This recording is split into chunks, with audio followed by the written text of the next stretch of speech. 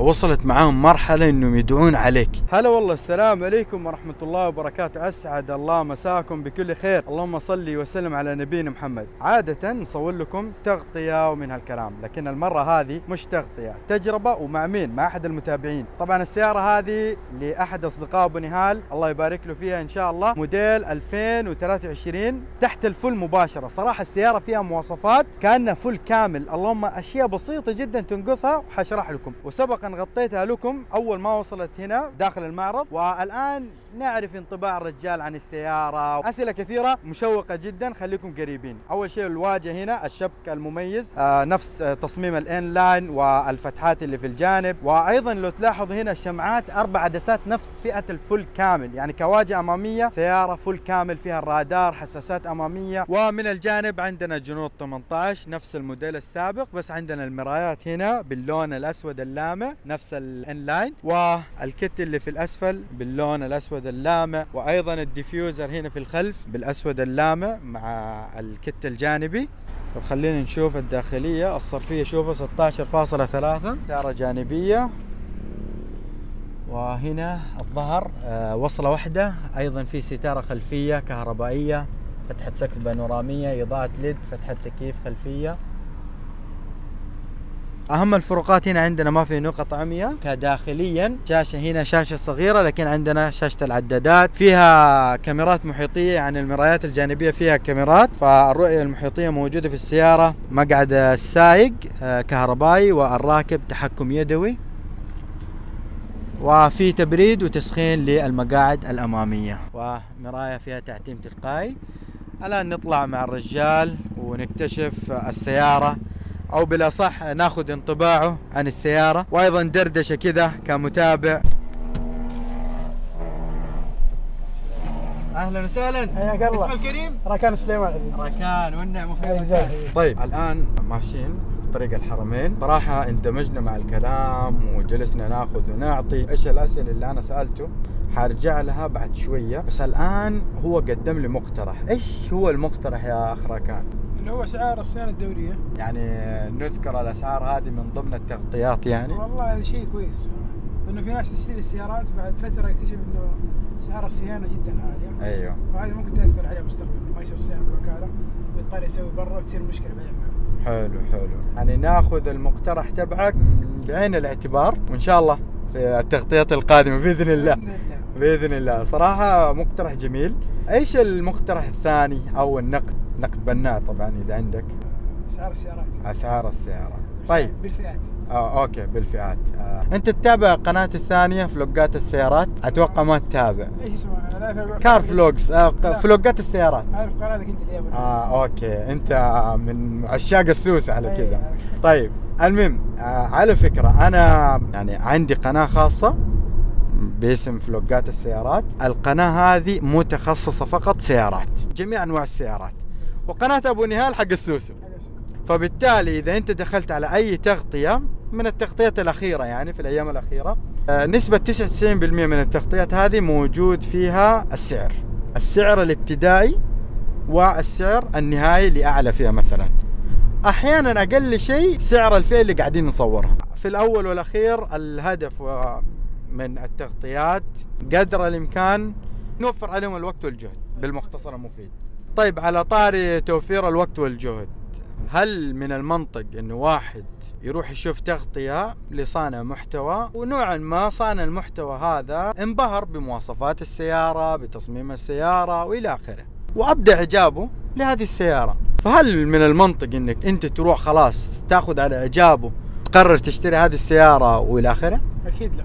طب إيش تقول أنت؟ أنا أكون مقتنع 100% يعني هو قدم لي محتوى السيارة هذه. اللي باقي عليه أنا كمالك أبغى أمتلك السيارة أروح أجرب. جميل. كلام الرجال هذا يعني صحيح إني أقنعني إني آخذ السيارة أشتريها. التجربة في الأخير هي اللي حتحكم على كل شيء هل أنت تشتريها ولا لا.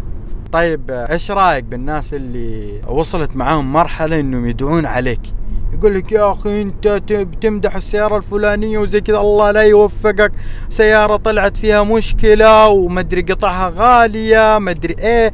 إيش ما كانت الإشكالية؟ إيش رأيك؟ والله أول شيء الله يهديهم. ثاني شيء هذه مشكلة فيك أنت يعني. يعني أنت كلمة توديك وتجيبك هذه مشكلة الصراحة.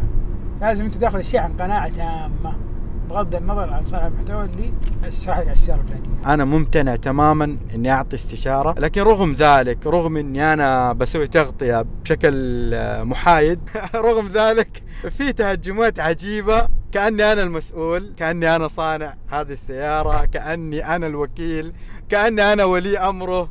أمور كثيرة جدا تتعجب منها لكن الحمد لله على كل حال إحنا كل اللي علينا نجتهد ونقدم. نخدم الناس قدر الإمكان. شيء أكيد إنه الخدمة لو أنا قدمتها لأحد آه، مو شرط إنه الخدمة هذه ما تعود لي بالنفع. ففي الأخير آه، الدنيا هذه إحنا متواجدين فيها.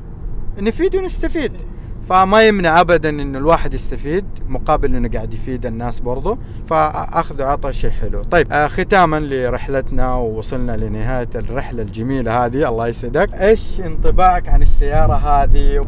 إيش الشيء اللي أنت توقعت منها؟ وإيش اللي طلعت بعد ما امتلكتها يعني؟ والله انطباع لو على السيارة ما شاء الله تبارك الله. ولا غلطة على قولتهم. من مواصفات من سواده ومن قيادة يعني شكل خصوصا شكل ال 23 يعني أنا كنت أستعجل في رمضان وحطلع 22 بس من حسن حظي إنه ما كانت متوفرة.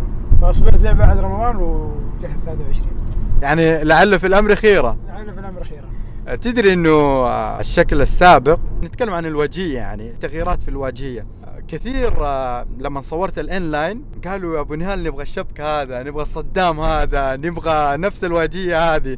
فسبحان الله دحين ترى الموضوع صار سهل. يصير آه، الواجهة هذه راح تتوفر بكل سهولة بحكم إنها صارت آه، على كل السيارات مش فئة ال N Line. فيعني فرصة لهم برضو. صحيح.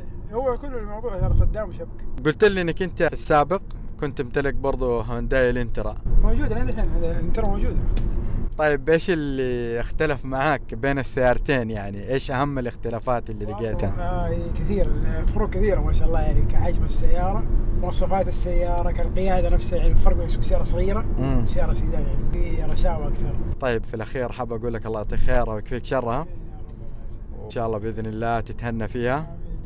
وتشرفت فيك. الشرف لي. ومعلش آه، خسرناك بنزين. لا لا فداك والله.